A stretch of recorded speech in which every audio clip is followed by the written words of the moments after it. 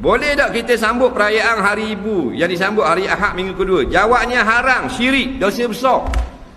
Hari ibu ni hari kafir laknat. Berapa kali nak kabar dah ulama daripada dulu tu. Hari ibu ni hari kafir laknat. Nampak? Wala tattabi'u khutuwati syaitan. Jangan ikut ni, jejak lakon setan. Hari ibu dipanggil Mother Day. Dia ada kait dengan hari Mother of Church. Mother of Church ni maknanya kuasa terbesar di dalam gereja. Nampak? Diberi kehormatan pada seorang perempuan. Dipanggil uh, Mother of Church. Ambil daripada Virgin Mary Siti Maria nampak?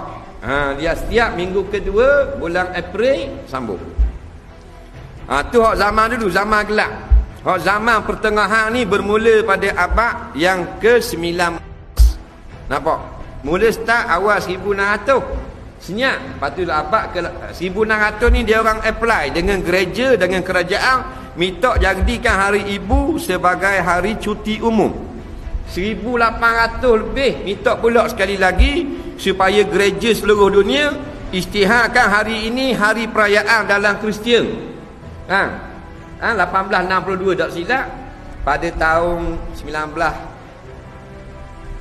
uh, 50-an barulah diluluskan di Amerika sebagai cuti umum. Nampak? Jadi dirayakanlah dengan sehebatnya. Menanglah puak-puak Mother Day ni.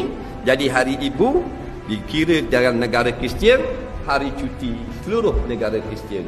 Nah maka sebab tu haram kita sambut nah sebab orang Kristian dia akan buat mother cake. Kek ibu dan beri kemok. Setahun sekali beri kek kemok.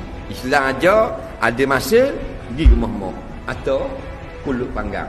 Bukan mother day sahaja. Bila kita ke lapangan, jenguk ibu. Bila ke lapangan, jenguk ibu. Jadi hukumnya syirik dan haram. Tapi oleh kerana Melayu ni Melayu haprak, gaya orang semua dia nak belakang. China kategori di Beijing dia tak akan sambut perayaan di Pavali. Betul tak? Orang Jepun tidak akan sambut perayaan awal Muharram. Pasal dia tahu ni orang Islam. Orang Mexico disambut hari Christmas. Dia tak sambut Maulidur Rasul. Ha. Orang Kanada tak sambut Tai Pusang. Coh wahnya pergi jalan. Tak ada. Nah, dia ada raya masing-masing. Bangsa Melayu hak bahala ni saja, semua raya dia nak ke dia belaka. Betul tak? Raya Christmas dia raya attack. Raya di Bali dia Pak Raya. Christmas Mary Raya. Nampak? Ha. Hari gawai nak raya. Baru ni buat pesta ni. Hak siang hak main simbuh air. Hak tu untuk agama Buddha di Thailand. Wak mari buat di Perak baru ni. Ha, simbuh air ramai-ramai biar jalan.